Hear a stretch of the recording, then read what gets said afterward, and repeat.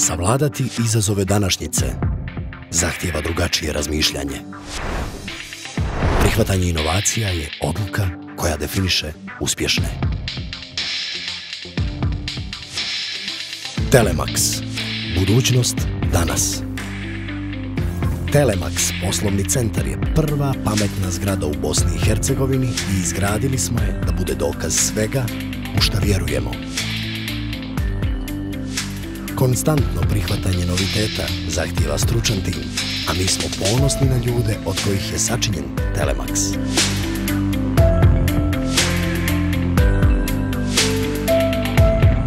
Primjenjujući svjetske standarde i vrhunsku edukaciju, izgradili smo tri sektora poslovanja.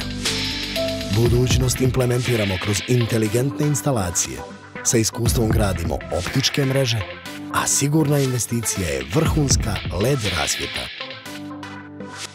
Hrabrost koja je potrebna da se nešto implementira prvi put je temelj na kojem je izgrađen Telemax. Biti prvi znači živjeti budućnost danas. Već duži niz godina projektujemo i izgrađujemo mreže optičkih kablova kako za telekom operatore, tako i za potrebe prenosa podataka.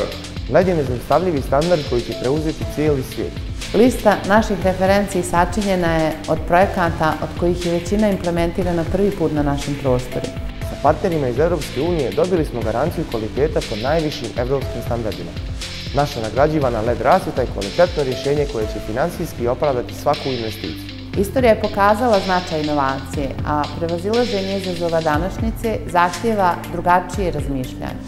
Prihvatanje inovacija je vrijednost koja definiše nas i naše klijente. Isti je izazov raditi u Telemaxu ili u nekoj svjetskoj kompaniji.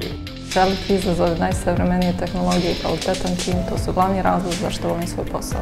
Samo morate poznavati materiju, stalno učiti, biti brzi i dobrodošli u Telemax. Biti prvi, biti odlučan i gledati budućnost, to je naše danas.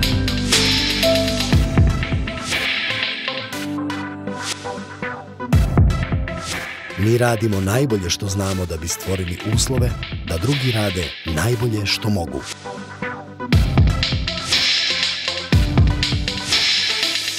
Već 15 godina implementiramo budućnost. Ponovo i ponovo.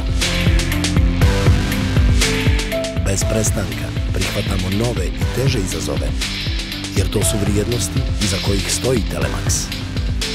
Od budućnosti smo uzeli najbolje sa jasnom vizijom da našim radom doprinesemo tranziciji društva na energetski efikasna i ekološki pametna rješenja.